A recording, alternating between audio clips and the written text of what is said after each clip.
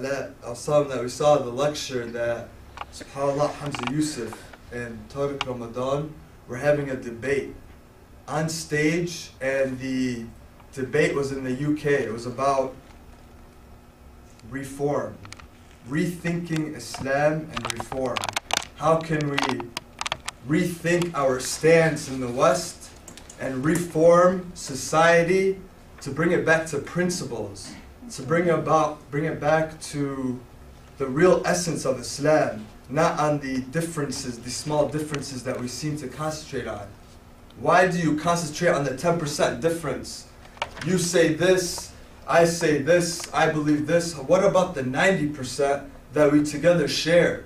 We all pray five times a day. We all make dua at night, hoping for the best for our children, hoping the best for ourselves, believing that this world is nothing but a test. Everything a test. Everything's a test. Our relationships are tests. Our children are tests. Our wealth is a test. Our drinks are tests. Everything is but a test. So why do we hold it so high in our eyes when all we have to do is provide a way to, it's a means to the end. So Tariq Ramadan was saying that, subhanAllah, we, we concentrate on the difference, but it's really about the substance.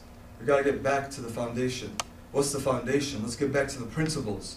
Let's stop concentrating on why you don't wear hijab or why, why, why is you talk about homosexuality being accepted.